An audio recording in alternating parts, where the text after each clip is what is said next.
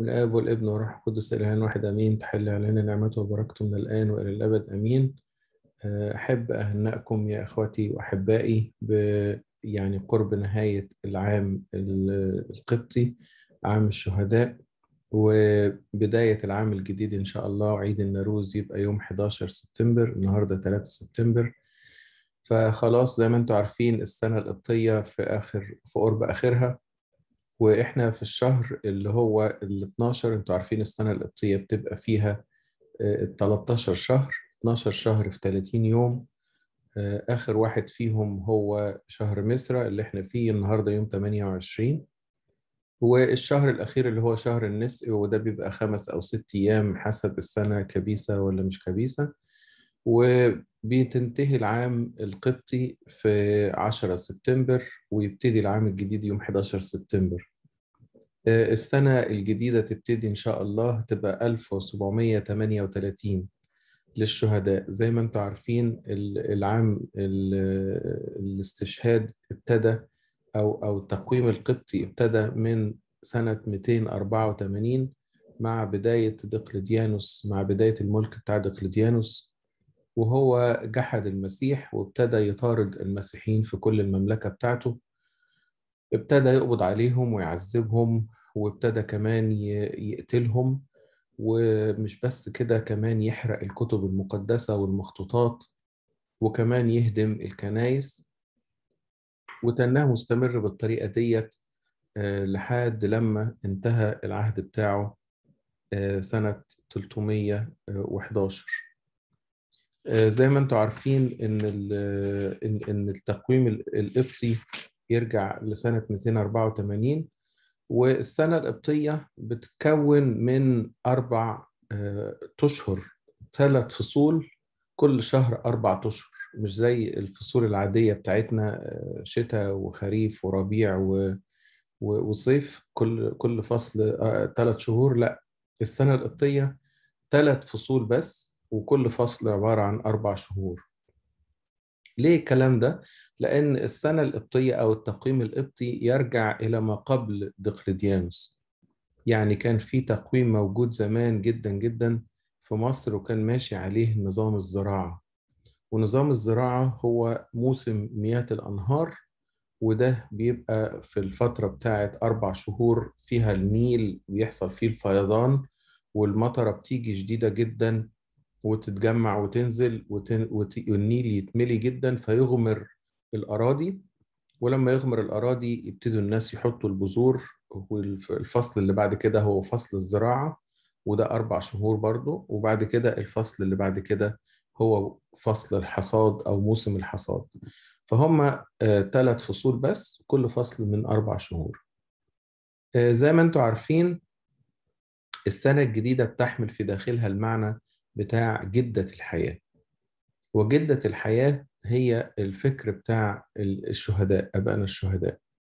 يعني لو كل واحد فيهم تصورنا حياة أي قديس منهم أو شهيد منهم هنلاقي إن هو كان إنسان طبيعي زينا واحد عادي جدا زينا.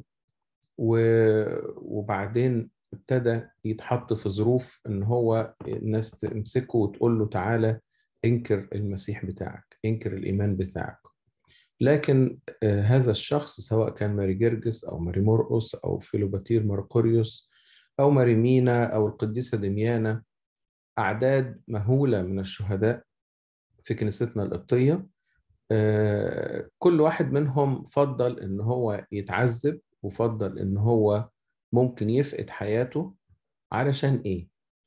هل هو كان في فترة كان في في في يعني كده حالة طياشة أو أو حالة نشوة الشجاعة جات له وخلته يتهور ويعمل حاجة غريبة جدا؟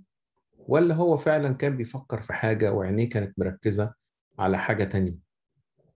هو كان عينيه مركزة على الحياة الجديدة عينيه مركزة على الأبدية عينيه مركزة على إن هو يخلص هنا ويروح علشان يعيش مع المسيح. فهذا الإنسان اللي قرر إن هو يشهد بإيمانه رغم إن هو عارف إن شهادته ديت هتسبب مشاكل هتسبب مشاكل وهتعمل هتعكر الجو وصفاء الموقف. لو كان هذا الإنسان مثلا قائد جندي كبير أو والي لمدينة أو إنسان ال ال الإمبراطورية بتعتمد عليه وبتحبه جدا وبتديله سلطات لما فجأة يتدور ويقول أنا مسيحي ده هيعكر الجو هيخلي ال ال ال الإمبراطور يقول له لأ تعالى أنت ما ينفعش تبقى والي لأ أنت ما ينفعش تبقى جندي أنت ما ينفعش تبقى إنسان موثوق فيه. لكن على العكس أنا هحطك في السجن وده اللي عمله أبائنا الشهداء إن كانوا يروحوا يسلموا السلاح بتاعهم ويسلموا ملابس الجندية بتاعتهم ويقولوا إحنا عارفين عواقب القرار بتاعنا وإحنا على أتم استعداد إن إحنا نضحي بكل هذه الإمكانيات علشان إيه؟ علشان إحنا عايزين نروح وننطلق ونبقى مع المسيح. قصص كتيرة جدا بتحضرني ولكن قبل ما نبتدي نخش في القصص أحب أشارك معاكم جزء من إنجيل معلمنا ماري لوقا إصحاح 21 وده كان كان إنجيل القداس أول امبارح كان يقول كده لوقا 21 إصحاح 21 آية 12 ل 19 وقبل هذا كله يلقون أيديهم عليكم ويطردونكم ويسلمونكم إلى مجامع وسجون وتساقون أمام ملوك وولاة لأجل اسمي فيؤول ذلك لكم شهادة. فضعوا في قلوبكم أن لا تهتموا من قبل لكي تحتجوا لأني أنا أعطيكم فما وحكمة لا يقدر جميع معانديكم أن يقاوموها أو يناقضوها وسوف تسلمون من الوالدين والإخوة والأقرباء والأصدقاء ويقتلون ويقتلون منكم وتكونون مبغضين من الجميع من أجل اسمي. تكونون مبغضين من الجميع من أجل اسمي ولكن شعرة من رؤوسكم لا تهلك بصبركم اقتنوا أنفسكم. هو ده الكلام بتاع السيد المسيح اللي قاله للتلاميذ بتوعه ونفس الرسالة بتقال لينا في كل مرة بنبتدي نفكر في الاستشهاد. خلي بالكم إحنا كأقباط مسيحيين قدمنا شهداء أكتر من العالم كله. في واحد مؤرخ فرنسي اسمه فيليب تشاف. فيليب تشاف ده قال إنه لو وضعت كل شهداء المسيحية في العالم كله في كفة وشهداء الأقباط المسيحيين في كفة لرجحت كفة أقباط المسيحيين. فيبقى إذا إحنا عندنا عدد كبير جدا. يقال إن العدد اللي مسجل رسميا من من الشهداء هو 840 ألف شهيد. وخلي بالكم الرقم ده غير منتهي. ليه؟ لأن دي القصص اللي كانوا بيسجلوا الأحداث بتاعة المحاكمة بتاعتهم. يعني مثلا واحد زي مارجرجس يتقبض عليه أو هو يروح يسلم نفسه ويقول أنا مسيحي وبعدين يبتدوا يحاكموه. وعشان يحاكموه يبتدوا يجيبوا ناس يكتبوا المينتس بتاعة المحاكمة دي. هم قالوا له إيه وهو قال لهم إيه وهم قالوا له إيه وهم قالوا له إيه. وكمان في الآخر قضوا إن هو مثلا يجلد. فتتكتب الحاجات دي. وبعدين بعد كده قرروا إن هو يترمي في في الجير الحي. وبعد كده قرروا إن هم يشربوه سم. وبعد كده قرروا إن هم بعد سبع سنين مليانة بالعذابات قرروا إن هم إيه تكتب قضيته اللي هو بقى حكم الإعدام تكتب قضيته وبعد كده يقطع رأسه. يبقى معنى كده إن ديت القصص المسجلة رسميا هم 840 ألف مسيحي قبطي في مصر. وخلي بالكم إن أثناء ما القصة دي كانت بتحصل كتير قوي كان ناس من اللي واقفين يتفرجوا كانوا يطلعوا ويقولوا إحنا كمان مسيحيين إحنا كمان نؤمن بإله جرجس نؤمن بإله مريمينا نؤمن بإله فيلوباتير مرقريوس نؤمن بإله الأمير تدرس وتبص تلاقي عدد كبير جدا استشهدوا على هامش القصة دي. يعني مش بس القصة بتاعت الشهيد نفسه لا ده كمان اللي استشهدوا على هامش القصة دي. فعشان كده كلام السيد المسيح لما قال لتلاميذه وقال لكل أولاده المسيحيين قال لهم كده يلقون أيديهم عليكم ويطردونكم ويسلمونكم إلى مجامع يعني في محاكمات وفي سجون وتساقوا من أجل الملوك لأجل اسمه وهي دي فرصة الشهادة يعني إيه كلمة شهادة؟ مارتيرية يعني إيه شهادة؟ يعني الواحد بيفصح عن الإيمان بتاعه وبيعترف بيه أمام الإيه؟ الولاة أو أمام الناس فعشان كده لما الإنسان بيعترف بالإيمان بتاعه ولا ينكر ولا يغطي ولا ي... يعني ينكسف إن هو يقول هو إيمانه إيه بالظبط هو ده الوقت بتاعك في إنك بتكون بتشهد للمسيح قدام الناس. خلي بالك أنت بتشهد بإيمانك مش بس بإنك أنت تقول أنا مسيح لا أنت بتشهد بإيمانك كمان بأفعالك. يعني الأفعال بتاعتك لما يقول كده يروا الناس أعمالكم الصالحة فيمجدوا أباكم الذي في السماوات أنت كل الأفعال بتاعتك إنسان عايش حياة حسب وصية المسيح وبيشهد قدام الناس كلها إن هو لا بيقتل ولا بي بيقتل ولا بيسرق ولا بيزني ولا بي بيكسر وصية ربنا. يبقى اذا هذا الإنسان هو بيشهد لكل الناس إن هو ابن للمسيح وبينتمي للمسيح. يقول كده السيد المسيح ضع في قلوبكم لا تهتموا من قبل لكي تحتجوا أو الكلام يعني ما تقولش تقول طب هنقول إيه لو مسكونة؟ ليه؟ لأن اللي بيحصل إن لو أي واحد فينا لو أي واحد فينا اتحط في ظرف إن واحد يقابله ويقول له تعالى هقتلك ولا ولا تنكر المسيح بتاعك إحنا بقوتنا البشرية ممكن الإنسان يقول آه طب أنا وضعي هيبقى شكله إيه؟ ممكن تخاف. لكن اللي بيحصل إن إن إن وعد المسيح هنا يقول أنا لأني أنا أعطيكم فما وحكمة لا يقدر جميع معانديكم أن يقاوموها أو يناقضوها. هو ده اللي كان بيحصل إن إن كل إنسان مسيحي كان مقبوض عليه واقف قدام الوالي بيتحاكم كان ربنا بيديله حكمة وقوة في الكلام محدش يقدر إيه يغلبه في الكلام. يبقى اذا ما تعتلش هم اللحظة دي. ليه؟ لأن اللحظة دي بتيجي بالإيه؟ بالقوة بتاعتها اللي جاية من عند ربنا. يبقى اذا إحنا عندنا حاجة هنا مهمة جدا إن كل شهيد كانت عينيه مركزة على الأبدية. كل شهيد ما كانش بيفكر في العذاب أو في في الضيقات البسيطة اللي هو هيشوفها. زي بالظبط ما بولس الرسول يقول خفة ضيقتنا الوقتية تنشئ لنا ثقل مجد أبدي. يبقى خفة ضيقتنا الوقتية تقول ده بيضربوه ده بيقطعوه ده بي بي بيحطوه في في جير حي ده بيشربوه سم مميت ده ده بيحطوه على سرير حديد ويولعوا نار تحتيه ده بي بيحطوه في همبازين كأنه بيتفرم.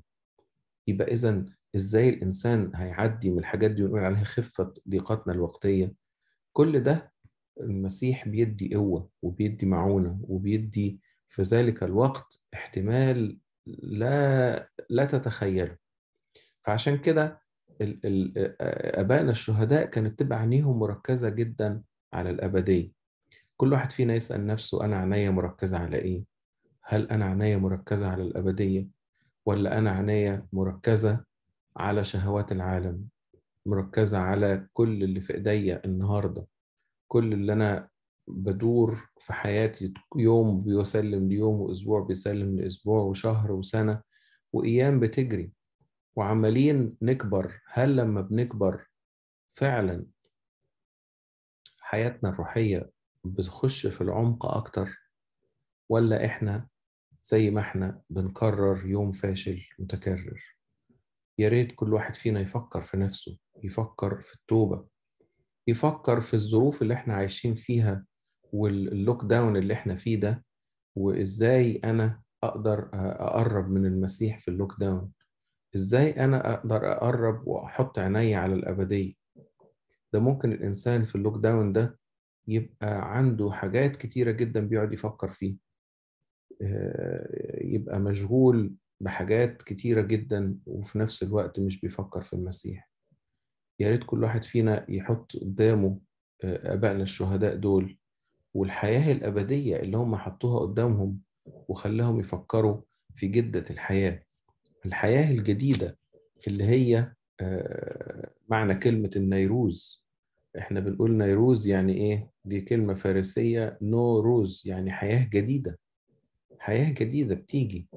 الإنسان اللي بيعدي من من من وضع الاستشهاد ده بيوصل لحياة جديدة لا تقارن بالإيه؟ بالحاجات اللي إحنا بنشوفها هنا على الأرض. الحاجة الأساسية كمان في الاستشهاد إن العصر بتاع الاستشهاد بتاع دقلديانوس تناه شغال مدة طويلة جدا من 284 لحد يمكن 311 لحد ما 311 انتهى الملك دقلديانوس وجه بعديه الملك قسطنطين وأطلق حرية العبادة.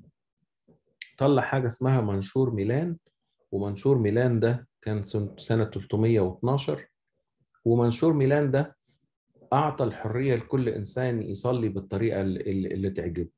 يعني إيه؟ الدين لله والوطن للجميع زي ما بيقول. فكل واحد بقى من حر, حر إن هو إيه؟ يعبد الإله اللي عايز يعبده. سواء يعبد السيد المسيح أو يعبد آلهة الأمة الرومانية أو اليهودية أو أي حاجة تعجبه. فده كان سنة 312 فين بقى؟ لحد يمكن سنة 380 لما أعلنت المسيحية هي الديانة الرسمية للدولة الرومانية. يبقى إذا في فاصل زمني كبير يمكن 68 سنة ما بين حرية العبادة اللي هو منشور ميلان 312 لحد لما المسيحية بقت الديانة الرسمية للإمبراطورية الرومانية. خلي بالكم في قصص كتير جدا جدا جدا لأبائنا الشهداء والاستشهاد كان بيبقى جواهم شهوة كان بيبقى جواهم حاجة هم بيتمنوها. واحد من الشهداء وهو رايح يستشهد عشان يقطعوا راسه كان لابس أزهى ما عنده أجمل لبس عنده. وبيسألوه بيقولوا له أنت إيه اللي أنت بتعمله ده؟ قال لهم هذا هو يوم عرسي. هذا هو يوم عرسي. يبقى ما كانوش depressed ولا suicidal ولا أي حاجة. ده دول كانوا فرحانين جدا وكانوا عارفين بالظبط هم بيعملوا إيه. عشان كده بنقرأ قصص كتيرة جدا. السنكسار بتاع أول امبارح كان في قصتين حلوين قوي عجبوني. القديس مويسيس وأخته القديسة سارة. والدهم والدتهم ماتوا فاتبقى آه مويسيس وسارة. وبعدين آه مويسيس قال لا أنا عايز أروح أعيش في البرية عشان أنا عملت خطايا كتيرة وعايز أروح أتوب وعايز أبقى أحسن من كده. فقال لأخته أنا يعني هديك الفلوس كلها وأنا هروح أروح أترهبن في الإيه في الجبل. فقالت له لا وأنت تروح تدور على خلاص نفسك وتسيبني أنا هنا في العالم. أنا كمان هعمل زيك. فقام عمل كده وخدوا فلوسهم هما الاثنين وروحوا وراحوا وزعوها على الفقراء وراح ودى أخته لمكان للعذارة وهو راح عاش في الدير. وعاشوا هما الاثنين كل واحد عاش في دير لمدة عشر سنين وبعدين ابتدى تطلع أخبار الاستشهاد.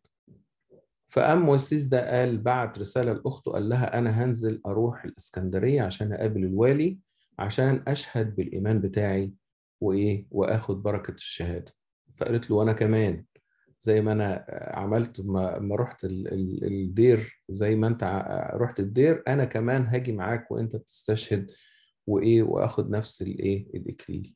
وفعلا سابوا الأديرة بتاعتهم هما الاثنين وراحوا على الإسكندرية وهناك اعترفوا بالمسيح قدام الوالي قعد يعذبهم شوية وفي الآخر كتب قضيتهم إن هم يقتلوا لتمسكهم بالديانة المسيحية وفعلا رماهم للسباع.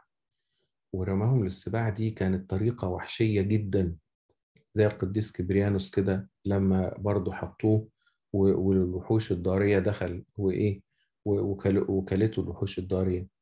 يعني قصة صعبة جدا واللي ناس شباب في عز شبابهم لكن اختاروا كده هم اللي اختاروا وهم اللي راحوا عشان يشهدوا. كان ممكن بمنتهى البساطة كل واحد فيهم يقعد في الدير بتاعه وما يخرجش من ديره ويتنيه زي ما هو ولا حد هيقول له انت عملت إيه. لكن بشهوة قلبهم المحبة إن هم يشهدوا بالإيمان بتاعهم قدام الولاة عشان الملكوت اللي هم باصين عليه من بعيد راحوا وعملوا كده. نفس القصة تكرر في قديسين اتنين تانيين برضو واحد وأخته القديس أغابيوس وأخته تكلا. الاتنين دول برضو راحوا واعترفوا بالإيمان بتاعهم قدام الوالي وبرضو رماهم للسباع واستشهدوا كان هما الاتنين دول موسيس وسارة وأغابيوس وتكلا كانوا يوم الأربع اللي هو أول امبارح. طب إيه الحكاية؟ ناس في عز شبابها وناس في كامل قواها العقلية. تروح تسيب كل حاجة وتحط نفسها في هذا المأزق اللي هم عارفين إن هو مأزق فعلا لكن عارفين إن إيه إن هذه الضيقة تنشئ إيه ثقل مجد أبدي. زي بالظبط بولس الرسول يقول عذبوا ولم يقبلوا النجاة. عذبوا ولم يقبلوا النجاة. لو واحد فيهم قال لهم طب انكروا المسيح وأنا هفككم وهروحوا تروحوا البيت. لا هم مش عايزين كده. هم لا يقبلوا النجاة هم جايين علشان يعترفوا بالمسيح وزي ما تحصل تحصل. لدرجة إن كتير من الولاة في قصص الاستشهاد نسمعها وكتير من المتفرجين اللي واقفين يشوفوا قوة هذا الإيمان يعلنوا إيمانهم. لما يلاقوا إن هذا الشخص اللي كان وجيه وكان شخص يعني من من من أصل طيب يسيب كل حاجة ويقبل العذابات دي كلها وكمان يتحط في ظروف إن هو يتقتل. أول ما كان بيحصل الكلام ده كنت تبص تلاقي ناس من الواقفين يقولوا إحنا كمان نؤمن بإله هؤلاء القديسين لدرجة إن بعض الولاة اللي كانوا بيعذبوهم وكانوا يقعدوا يتفننوا في إن هم يخترعوا طرق تعذيب بعد ما بيشوفوا قوة هذا الإيمان يقولوا ده إيه ده؟ الناس دي بتحط نفسها في الموت ليه كده؟ وفي الآخر هم يؤمنوا بالسيد المسيح. خلي بالكم من الاحتفال بعيد النوروز زي ما إحنا كلنا عارفين بن بن مصحوب بحاجات كتير مصحوب بالبلح الأحمر ومصحوب بالإيه؟ بالجوافة. والبلح الأحمر زي ما إحنا فاكرين الترتيلة البلحة لونها أحمر زي دم الشهداء وقلبها أبيض من جوه عشان بتبقى زي قلب الشهداء أبيض مليان بالإيمان. وكمان النوايا اللي جوه بتبقى نوايا صلبة جدا زي صلابة وقوة إيمان أبائنا الشهداء. الطقس بيبقى فرايحي في عيد النوروز ومن يوم واحد توت لحد 17 توت اللي هو عيد الصليب الكنيسة التانية ماشية في الطقس الفرايحي علشان كأن الكنيسة بتقول آه اللي هم استشهدوا دول يعني إحنا بنحتفل في عيد النوروز بعيد الاستشهاد دول احتفلوا أو دول استشهدوا عشان كانت عينيهم على الصليب فعينيهم مركزة في الصليب وعشان كده ما إيه آه الكنيسة التانية ماشية بالطقس الفرايحي ولما يجي عيد الصليب يوم 17 توت بيبقى الطقس بتاعه فرايحي وشعانيني زي إيه زي عيد آه زي أحد الشعانين كده. خلي بالكم إن إحنا آه بنبص على المسبح نلاقي تحت المسبح آه الشهداء مدفونين. الشهداء دول ضحوا بنفوسهم ضحوا بحياتهم ضحوا بجسدهم ودمهم من أجل المذبوح على المذبح اللي هو المسيح اللي فوق المذبح وفي نفس الوقت المسيح اللي مذبوح على المذبح ده برضه مذبوح من أجلنا ومن أجل الشهداء. فلما نبص على المذبح زي ما في سفر الرؤيا إصحاح ستة ونلاقي كده إن إن إن النفوس الذين استشهدوا لأجل المسيح موجودة تحت المذبح ويصرخوا يقولوا إلى متى يا رب لا تنتقم لنا من من من الذين يضايقوننا؟ يبقى المذبح ده تحتيه نفوس الناس اللي بيستشهدوا من أجل المسيح وفوقه المسيح المذبوح من أجلنا ذبيحة الإفخارستية بيسلم نفسه من أجلنا زي ما هو ذبح على الصليب وهكذا أحب الله العالم حتى بذل ابنه الوحيد لكي لا يهلك كل من يؤمن به. هو ده العلاقة بيننا وبين المسيح. عشان نقدر ناخد المسيح لازم نضحي بكل حاجة لازم نشهد ليه لازم نسيب كل حاجة إحنا بنحبها. الموضوع مش سهل الموضوع محتاج شغل كتير والموضوع تتجلى صعوبته لما بنبص على الناس اللي استشهدوا بنشوف آه أنت أنت بتحب حاجة و- و- والمسيح بيقول لك لا سيبها من, من أجلي وأنا مش قادر أسيبها. مش قادر أسيبها. آه طب أمال الشهداء دول سابوا حياتهم كلها؟ مش بس الحاجة اللي أنت متمسك بيها سواء كانت شهوة أو كانت حاجة أنت بتحبها أو أو خطية محبوبة جوه قلبك. وبعدين تلاقي نفسك ماسك فيها وما انتش راضي تسيبها. طب أمال ابائنا الشهداء دول عملوا إيه؟ ده ابائنا الشهداء سابوا كل حياتهم بكل ما فيها من أجل عظم محبتهم في الملك المسيح. يبقى إذا إحنا آه، نبص لهم ونبص للحكمة بتاعتهم. دول ما كانوش ناس متهورين لا ده كانوا في منتهى الحكمة. دول كانوا ناس بيفكروا في الإيه في المجد الأبدي. ودول كانوا ناس حاسبينها صح. إحنا اللي لسه تفكيرنا ملغوش. تفكيرنا مليان بحاجات ملهاش فايدة. فعشان كده يا ريت كل واحد فينا يعيد تقييمه ويعيد تفكيره ويشوف أنا رايح فين. يشوف أنا بفكر في إيه. أنا مشغول بإيه. هل أنا مشغول بالحاجات اللي توصلني للأبدية ولا أنا مشغول بحاجات كلام فاضي كلها؟ يحضرني قول لقداسة البابا شنودة يقول كده فلتكن أنت يا رب نصيبي الوحيد ولا نصيب غيرك. خذ كل ما عندي واعطني ذاتك. اعطني فضل معرفتك. لست أريد أن أطلب منك طلبات كثيرة فأنا أريدك وحدك. أريد أن يفقد كل شيء قيمته في نظري وتبقى أنت القيمة الوحيدة التي أهتم بها. فأحبك أنت الإله الساكن في قلبي وليس مجرد الله الذي أقرأ عنه في الكتب. يبقى إذن محتاجين نعيد تقييم لكل أمور حياتنا. ربنا يدينا زي ما إدى للشهداء لأن كل عطية صالحة وكل موهبة تامة إنما تهبط لنا من فوق من عند الله من عند أبي الأنوار.